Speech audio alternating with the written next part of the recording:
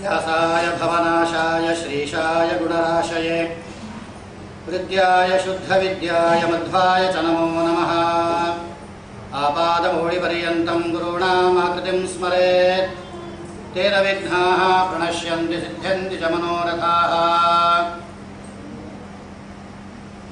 ಪರ್ವಕಾಲ ಇಂತಹ ಶ್ರೀರಾಮನವಮಿಯ ಪರ್ವಕಾಲದ ಸಂದರ್ಭದಲ್ಲಿ ಇಷ್ಟರವರೆಗೆ ಆಚಾರ್ಯರು ರಾಮನ ಗುಣಚಿಂತನೆ, ರಾಮನ ಚಿಂತನೆಯ ಬಗ್ಗೆ ನಮಗೆ ತಿಳಿಸಿಕೊಟ್ಟಿದ್ದಾರೆ.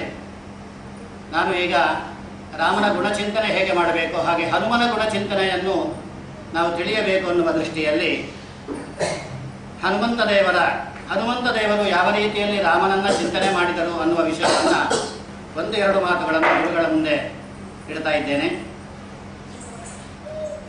ಸುಮಧ್ವಿಜಯದಲ್ಲಿ ನಾರಾಯಣ ಪಂಡಿತಾಚಾರ್ಯರು ಹೇಳುವಾಗ, ಯೇ ಯೇ ಗುಣಾನಾಮ ಜಗತ್ಪ್ರಸಿದ್ಧ ಎಂ ತೇಷು ತೇಷು ಸ್ಮ ನಿದರ್ಶಯಂತಿ ಸಾಕ್ಷಾನ್ ಮಹಾಭಾಗವತ ಪ್ರಬರ್ಹಂ ಶ್ರೀಮಂತವೇನಂ ಹನುಮಂತಮಾಹು ನಮಗೆ ಲೋಕದಲ್ಲಿ ನಾವು ಇಂತಹವರು, ಇಂತಹ ವ್ಯಕ್ತಿಗಳು ಇಂತಹ ಗುಣದಲ್ಲಿ, ಗುಣದಿಂದ ಕೂಡಿದ್ದಾರೆ ಅಂತ ನಾವು ನಿದರ್ಶನವನ್ನು ಕೊಡುತ್ತೇವೆ.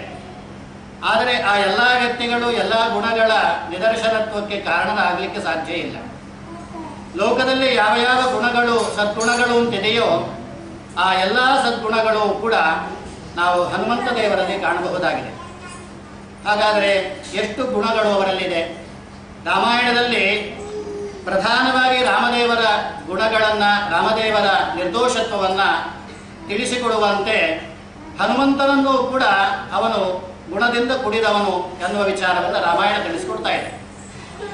ಆ ಎಲ್ಲ ಗುಣಗಳು ಅವರಲ್ಲಿ ತುಂಬಿದೆ ಅಂತ ಹೇಳಿದಾಗ ಯಾವ ಯಾವ ಗುಣಗಳು ಅವರಲ್ಲಿ ತುಂಬಿದೆ ಅನ್ನುವ ವಿಚಾರವನ್ನು ನೋಡಿದರೆ ಮುಂದೆ ಒಂದು ಮಾತು ಬರ್ತಾ ಇದೆ. ಜ್ಞಾನೇ ವಿರಾಗೆ ಹರಿಭಕ್ತಿ ಭಾವೆ ಧೃತಿ ಸ್ಥಿತಿ ಪ್ರಾಣ ಬಲೇಶು ಯೋಗೆ ಬುದ್ಧೌಚ ನಾಣ್ಯ ಹನುಮತ್ ಸಮಾನ. ಒಂಬತ್ತು ಗುಣಗಳಲ್ಲಿ ಎಲ್ಲ ಗುಣಗಳು ಅಡಕವಾಗಿದೆ. ಪ್ರಧಾನವಾದ ಗುಣಗಳು ಅಂದರೆ ಒಂಬತ್ತೇ. ನವ ವ್ಯಾಕರಣ ಪಂಡಿತ ನವ ಗುಣಗಳನ್ನು ತುಂಬಿಕೊಂಡಿರುವ, ಅದರಲ್ಲಿ ನವ ಗುಣಗಳು ಅಂತ ಹೇಳಿದಾಗ, ಇವತ್ತಿನ ದಿವಸ ಆ ಒಂಬತ್ತು ಗುಣಗಳಲ್ಲಿ ಒಂದು ಗುಣದ ಒಂದು ಚಿಂತನೆಯನ್ನ ಮಾಡುವ ಜ್ಞಾನ, ವೈರಾಗ್ಯ, ಹರಿಭಕ್ತಿ. ಜ್ಞಾನ, ವೈರಾಗ್ಯ, ಭಕ್ತಿಯಲ್ಲಿ ಶ್ರೇಷ್ಠರಾದವರು ಹನುಮಂತ ದೇವರು. ಅದನ್ನು ನೋಡುವಾಗ ಒಂದು ಚಿಂತನೆ ಅಂತ ನೋಡಿದಾಗ, ವೈರಾಗ್ಯ. ಹನುಮಂತ ದೇವರ ವೈರಾಗ್ಯ ಅನ್ನೋದು ಹೇಗಿತ್ತು ಅನ್ನುವ ವಿಚಾರವನ್ನು ನೋಡಿದರೆ ಹನುಮಂತ ದೇವರು ಸೀತೆಯನ್ನು ಹುಡುಕಿಕೊಂಡು ಬರಬೇಕು ಅಂತ ಅಧ್ಯಪ್ತರಾಗಿ ಅಲ್ಲಿಂದ ಹೊರಟಿದ್ದಾರೆ, ಲಂಕೆಗೆ ಬಂದಿದ್ದಾರೆ. ಲಂಕೆಯಲ್ಲಿ ಅಶೋಕವನದ ಧ್ವಂಸವನ್ನ ಮಾಡಿದ ಮೇಲೆ ಅಲ್ಲಲ್ಲಿ ಸೀತೆ ಇದ್ದಾಳ ಅಂತ ಹುಡುಕೊಂಡು ಬರ್ತಾ ಇದ್ದ. ಹುಡುಕುವಾಗ ರಾವಣನ ಅಂತಃಪುರದ ಪ್ರ- ಪುರಕ್ಕೂ ಪ್ರವೇಶವನ್ನು ಮಾಡಿದ್ದಾರೆ.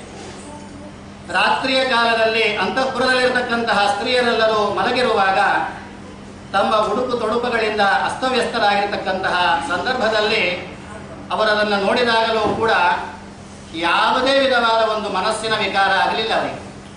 ಅದನ್ನು ವಾಲ್ಮೀಕಿ ಋಷಿಗಳು ಕೂಡ ವಾಲ್ಮೀಕಿ ರಾಮಾಯಣದಲ್ಲಿ ಹೇಳುವಾಗ, ಮನಸಾರದು ವೈಕೃತ್ಯ ಉಪಬದ್ಧತೆ ಅಂತ. ವಿಕೃತಿ ಅನ್ನೋದು ಆಗಲಿಲ್ಲ ಅಂತ ಆತ್ಮನಿರೀಕ್ಷಣೆಯನ್ನ ಹನುಮಂತನೆಯವರು ಮಾಡಿಕೊಂಡಿದ್ದಾರೆ. ಈ ಮನಸ್ಸಿನ ವಿಕಾರ ಅವರಿಗೆ ಯಾಕೆ ಆಗಲಿಲ್ಲ ಅನ್ನುವ ಪ್ರಶ್ನೆ. ಮನಸ್ಸಿನ ವಿಕಾರ ನಮಗೂ ಆಗ್ತದೆ, ಆದರೆ ವಾಯುದೇವರಿಗೆ, ಹನುಮಂತ ದೇವರಿಗೆ ವಿಕಾರ ಆಗಲಿಲ್ಲ ಅಂತ ಹೇಳಿದಾಗ, ಯಾಕೆ ವಿಕಾರ ಆಗಲಿಲ್ಲ ಅನ್ನುವ ವಿಚಾರದಿಂದ ಶ್ರೀ ಮಧ್ವಾಚಾರ್ಯರು ತಮ್ಮ ತಾತ್ಪರ್ಯ ನಿರ್ಣಯದಲ್ಲಿ ಒಂದು ಮಾತನ್ನ ಹೇಳ್ತಾರೆ. ಜಾನನ್ ರಾಮಸ್ಯ ಹೃದ್ಗತಂ ತಸ್ಯ ಚೇಷ್ಟಾನುಸಾರೇಣ ಕೃತ್ವ ಚೇಷ್ಟಾಶ್ಚ ಸಂವಿಧ ಜಾನನ್ ರಾಮಸ್ಯ ಹೃದ್ಗತಂ. ಅವರು ಹೊರಟಿರತಕ್ಕಂತಹ ಕಾರ್ಯ ಯಾವುದು? ಸೀತಾನ್ವೇಷಣೆ. ಸೀತೆಯನ್ನ ಹುಡುಕಿಕೊಂಡು ಬರಬೇಕು ಅನ್ನುವ ರಾಮದೇವರ ಅಪ್ಪಣೆಯ ಮೇರೆಗೆ ಅವರು ಹೊರಟಿರುವಾಗ ಅದರಲ್ಲೇ ಅವರು ಅವರ ಮನಸ್ಸು ಇತ್ತು. ಯಾವುದ ವಿಚಾರವೂ ಅವರ ಮನಸ್ಸಿಗೆ ಬರಲಿಲ್ಲ. ಜಾನನ್ ರಾಮಸ್ಯ ಹೃದ್ಗತಂ ಅಂತ. ರಾಮದೇವರ ಅಭಿಪ್ರಾಯ, ರಾಮದೇವರನ್ನ ರಾಮದೇವರಿಂದ ಅತ್ಯಪ್ತರಾದವರು ಈ ರೀತಿಯಲ್ಲಿ, ಆ, ರಾಮದೇವರ ಕಾರ್ಯ ಅಂತ ಮಾಡಬೇಕು ಅನ್ನುವ ದೃಷ್ಟಿಯಲ್ಲಿ ಹೋದಾಗ ಅವರಿಗೆ ಯಾವುದೇ ವಿಧವಾದ ವಿಕಾರ ಆಗಲಿಲ್ಲ. ಇದರಿಂದ ನಾವು ಕೂಡ ನಮ್ಮ ಜೀವನದಲ್ಲಿ ಏನು ಅಳವಡಿಸಿಕೊಳ್ಳಬೇಕು ಅಂತ ಹೇಳಿದಾಗ ನಾವು ಎಷ್ಟೋ ಕಾರ್ಯಗಳನ್ನು ಪ್ರಾರಂಭ ಮಾಡ್ತೇವೆ. ಪ್ರಾರಂಭ ಮಾಡಿದಾಗ ನಮ್ಮ ಮನಸ್ಸಿನ ಸತ್ಕರ್ಮಗಳನ್ನು ಮಾಡುವಾಗ ಮನಸ್ಸಿನ ವಿಕಾರ ಅನ್ನೋದು ಆಗ್ತದೆ. ಆ ಮನಸ್ಸಿನ ವಿಕಾರತೆ ಪರಿಹಾರ ಆಗಬೇಕಾದರೆ ಇದು ದೇವರ ಸೇವೆ ಅನ್ನುವ ಭಾವನೆಯನ್ನು ಮಾಡಿದಾಗ ದೇವರ ದಯದಿಂದ ನಮ್ಮ ಮನಸ್ಸಿನ ಆ ವಿಕಾರ ಅನ್ನೋದು ಪರಿವರ್ತನೆ ಆಗುವುದು. ಹಾಗೆ ಹನುಮಂತ ದೇವರು ಆ ರೀತಿಯಲ್ಲಿ ಜಾನಂದ ರಾಮಸ್ಯ ಹೃದ್ಗತಂ ಅಂತಲೇ ಹೇಳಿದರು. ಸರಿ, ಅವರು ಸಾಮಾನ್ಯ ಕೆಲವರು ಇರಬಹುದು. ಯಾವುದೇ ವಿಧವಾದ ಸೃಕ್ ಚಂದನ ವನಿತಾದಿಗಳಲ್ಲಿ ಅವರಿಗೆ ಆಸಕ್ತಿ ಇಲ್ಲದೇ ಇರತಕ್ಕಂತಹ ವೈರಾಗ್ಯ ಶಿಖಾಮಣಿಗಳು ಸಿಗಬಹುದು.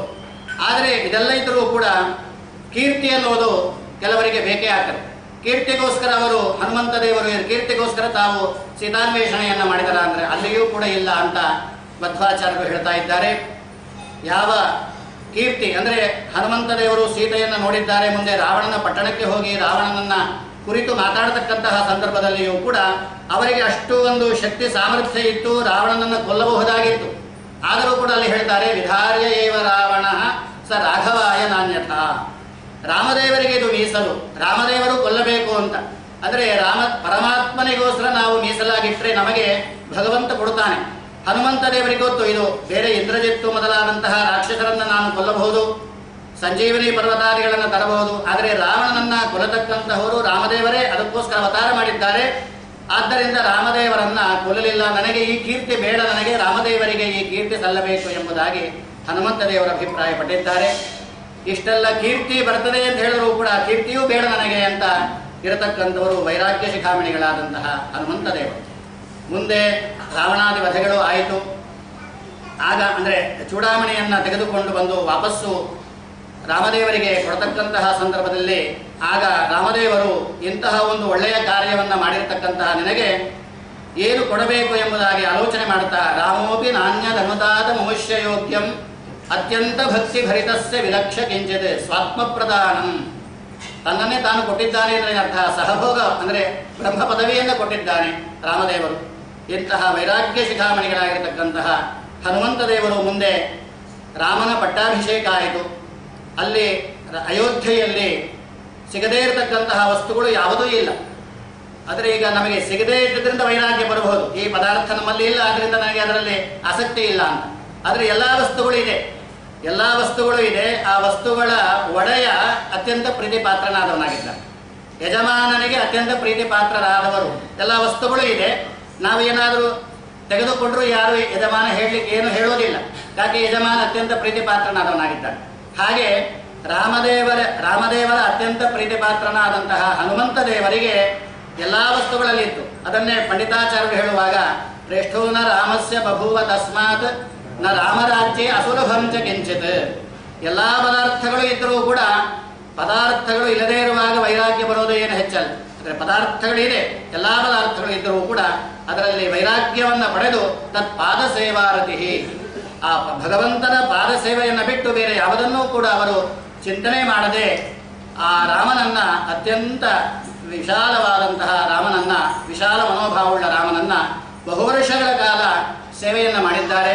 ಅಂತಹ ರಾಮನನ್ನ ಯಾವ ರೀತಿಯಲ್ಲಿ ಸೇವೆ ಮಾಡಿದರು, ಯಾವ ರಾಮನನ್ನ ನೋಡಿದರು ಅಂತ ಹೇಳಿದ್ರೆ ಮಧ್ವಜರೇ ಹೇಳಿದಂತೆ, ಶ್ಯಾಮಂ ಸ್ಮಿತಾಸ್ಯಂ ಪೃಥು ದೀರ್ಘಹಸ್ತಂ ಸರೋಜ ನೇತ್ರಂ ಗಜರಾಜಯಾತ್ರಂ ವಪುಹು ಜಗನ್ಮಂಗಲಂ ಏಷಃ ದೃಗ್ಭ್ಯಾಂ ಚಿರಾಟ್ ಶ್ರವಣಂ ಕೀರ್ತನ ಮೊದಲಾದಂತಹ ಶ್ಲೋಕಗಳಲ್ಲಿ ಹೇಳಿದಂತೆ ಆ ಹನುಮಂತ ದೇವರು ಆ ಭಗವಂತನನ್ನ ನಿತ್ಯದಲ್ಲಿಯೂ ಕೂಡ ಕ್ಷಣ ಕ್ಷಣ ಕಾಲದಲ್ಲಿಯೂ ಅವನನ್ನು ನೋಡುತ್ತಾ, ಸೇವೆಯನ್ನ ಮಾಡುತ್ತಾ ಆ ಭಗವಂತನ ವಿಶೇಷವಾದಂತಹ ಅನುಗ್ರಹಕ್ಕೆ ಪಾತ್ರರಾದವರು ಆ ಹನುಮಂತ ದೇವರು ಅಂತಹ ಆ ಹನುಮಂತನ ಗುಣಚಿಂತನೆಯನ್ನು ಮಾಡಿದಾಗ ನಮ್ಮಲ್ಲಿರತಕ್ಕಂತಹ ದೋಷಗಳೆಲ್ಲ ಪರಿಹಾರ ಆಗಿ ಆ ರಾಮದೇವರ ಅನುಗ್ರಹ ಆಗಲಿಕ್ಕೆ ಸಾಧ್ಯತೆ ಉಂಟು ಅಂತಹ ಈ ರಾಮನವಮಿಯ ಸಂದರ್ಭದಲ್ಲಿ ಹನುಮಂತ ದೇವರ ಗುಣದ ಚಿಂತನೆ ಒಟ್ಟಿಗೆ ಆ ರಾಮನಿಗೆ ನನ್ನ ನಮಸ್ಕಾರವನ್ನು ಮತ್ತು ಈ ಮಾತುಗಳನ್ನು ಗುರುಗಳ ಅಂತರ್ಯಾಮಿಯಾದ ರಾಮನಲ್ಲಿ ಸಮರ್ಪಣೆ ಮಾಡ್ತಾ ಶ್ರೀಕೃಷ್ಣ ಅರ್ಪಣ